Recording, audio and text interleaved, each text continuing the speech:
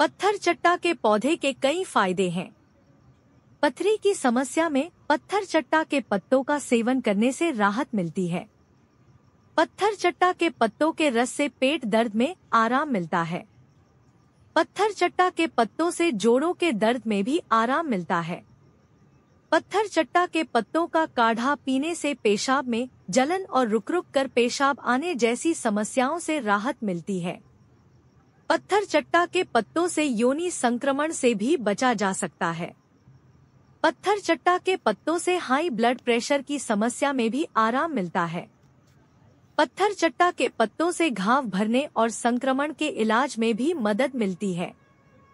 पत्थर चट्टा के पत्तों का सेवन करने के तरीके, पत्थर चट्टा के पत्तों को गुनगुने पानी के साथ चबाकर खाया जा सकता है।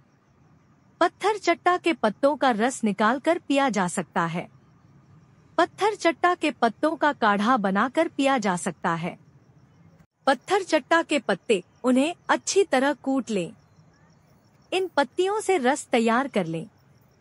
आधा कप रस सुबह और शाम खाली पेट लिया जा सकता है। इस जूस के सेवन से न सिर्फ़ इन्फेक्शन दूर हो जाता है बल्कि पथरी वाला कैल्शियम फॉस्फेट पेशाब के रास्ते बाहर निकल आता है।